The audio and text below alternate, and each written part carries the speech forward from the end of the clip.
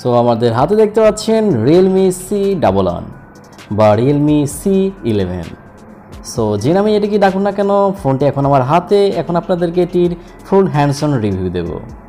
So আমার কাছে ফোনটি কেমন লাগল সেই ব্যাপারে বিস্তারিত বলব।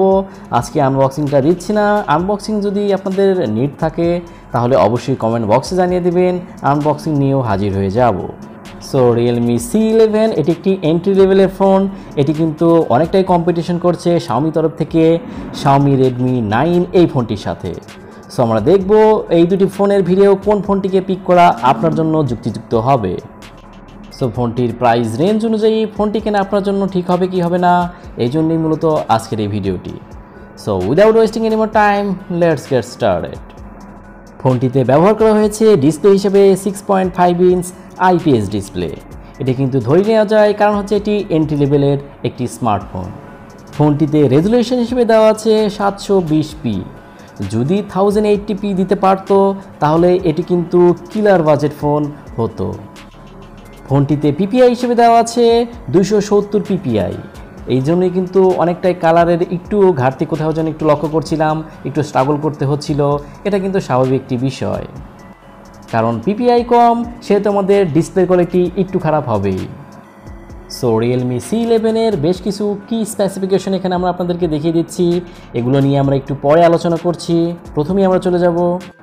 সো ল্যাগিংয়ের বিষয়টি যদি একটু দেখি, তাহলে দেখব যে ফোনটি যথেষ্ট স্মুথই ছিল। কোনো প্রকার ল্যাগ আমার চোখে পড়ছিল না প্লাস হচ্ছে অ্যাপ লঞ্চিংগুলো আমরা দেখেছিলাম। অ্যাপ লঞ্চিংগুলো যথেষ্ট ফাস্টই ছিল।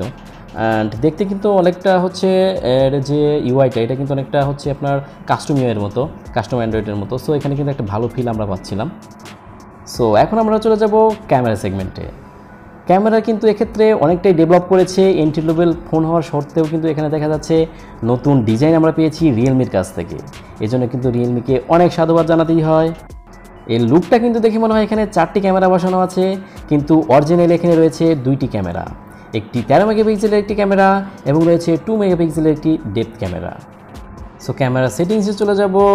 দেখব ক্যামেরা সেটিংসে কি কি রয়েছে। এখানে বেশ কিছু মুড আমরা দেখতে পাচ্ছি। প্রত্যেকটা মুডই অনেক কার্যকরী। পরে আমরা আপনাদেরকে এগুলো দেখাবো। Maximum video resolution thousand eighty p হতাশার কথা এটাই, এখানে কিন্তু ফোর কে সাপোর্ট থাকছে না। এত এন্ট্রি লেভেলে কি ফোর কে চান? কেমনে পাবেন?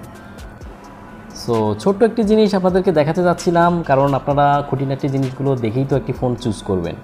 সো এখানে কিন্তু চাইলে আপনার নোটিফিকেশন যে বাড়তি আছে, সেখানে কিন্তু আপনি কাস্টমাইজেশন করতে পারবেন, আপনার পছন্দ অনুযায়ী যে কোনো জিনিস কিন্তু সেখান থেকে এডিট করে বসিয়ে দিতে পারবেন। So budget king Realme C eleven এটিতে কিন্তু আপনারা পেয়ে যাচ্ছেন আপনাদের face unlock support so face unlock support কীভাবে কাজ করে? জাস্ট আমরা আমাদের ফেসটি ইনক্লুড করে নিলাম। এখন দেখব ফেস আনলকের যে বেশ কিছু সেটিংস এখানে রয়েছে, সেগুলো আপনারা আপনাদের প্রয়োজন অনুযায়ী অন করে দিতে পারেন অফ করে রাখতে পারেন, কোনো সমস্যা নেই। সো আমরা ফেস লকটি এখানে আমাদের ফেসটি ইনক্লুড করেছি আনলক করব। যথেষ্ট ফাস্টই ছিল লাইট আসার পর সাথে সাথে কিন্তু আনলক হয়ে গিয়েছে। ফোনটিতে প্রসেসর হিসেবে দেওয়া আছে মিডিয়াটেকের হেলিও জি থার্টি ফাইভ এটা কিন্তু যেহেতু এন্ট্রি লেভেলের একটি স্মার্টফোন এর থেকে কিন্তু আমরা খুব বেশি বেটার কিছু এক্সপেক্ট করতে পারি না। এটি কিন্তু বারো ন্যানোমিটার বেস একটি প্রসেসর এবং এর পারফরমেন্স আমি খুব বেশি ভালো বলব না এভারেজ পারফরমেন্সই বলব। সো এখন আমরা আসি ফোনটির গেমিং এক্সপিরিয়েন্স নিয়ে। ফোনটিতে আমরা পাবজি প্লাস অন্যান্য বেশ কিছু গেম এখানে প্লে করেছি। পাবজি কিন্তু মিডিয়াম সেটিংসেও চলতে অনেক সময় কিছুটা প্রবলেম হয়েছে। তবে আপনারা কিন্তু মানে মানিয়ে নিতে পারবেন বা একটু খেলে নিতে কিন্তু পারবেন পাবজিটা। অন্যান্য গেমসগুলো মোটামুটি চলবে, যেহেতু এটি একটি এন্ট্রি লেভেল ফোন সেহেতু কিন্তু আপনাকে প্রাইস অনুযায়ী কিছুটা কনসিডার করতেই হবে। সো প্রাইস রেঞ্জ যদি একটু মাথায় রাখেন, তাহলে কিন্তু আপনাকে এই বিষয়গুলো খুব বেশি ভাবাবে না।